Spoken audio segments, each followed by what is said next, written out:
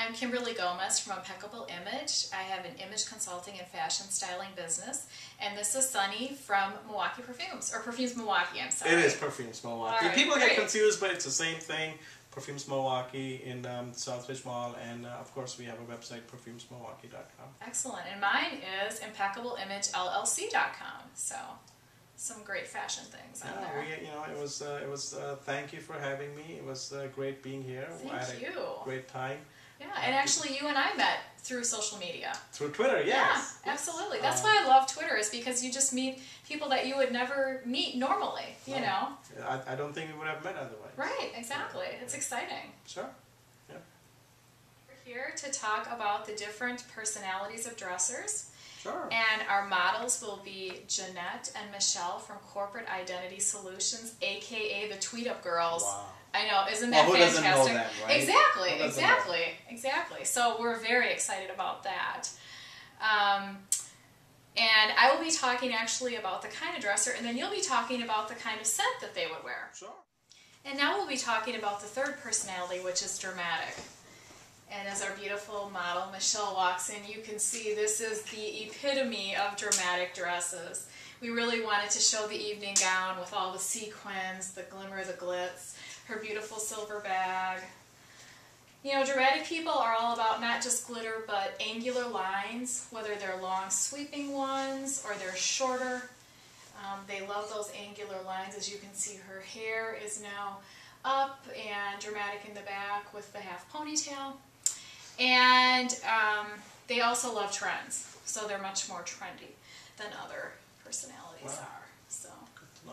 What are some scents that would be wonderful for these ladies?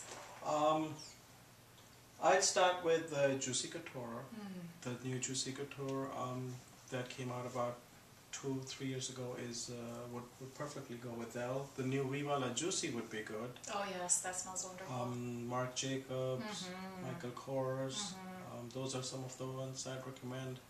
Uh, again, some of the Gucci, Gucci Envy, Gucci Envy Me Too would perfectly go with that uh, dress. Um, Paloma Picasso, it's a classic, but it goes wonderfully with these kind of uh, dresses. With you know, it's a very formal scent. Right. So And you know, I'm glad you brought that up because just because someone is one kind of a dresser, they also can be another kind.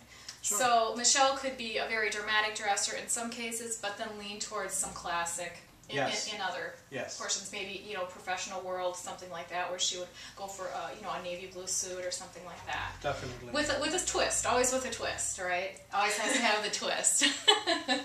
so I, I'm really glad you brought that up because the personalities can definitely overlap. So, Right. yeah. And and I and I don't see a whole lot of difference. As I maybe I'm wrong, but I don't see a whole lot of difference between the between the two. You know, you're Mhm. trying to be formal at the same time, Mhm. um, classy at the same time, Mhm, and absolutely. Uh, dramatic at the same time. Right. Thank you. So, what personality of dresser are you? We hope this has given you ideas about the different kinds of scents that you can wear with the dresser you are.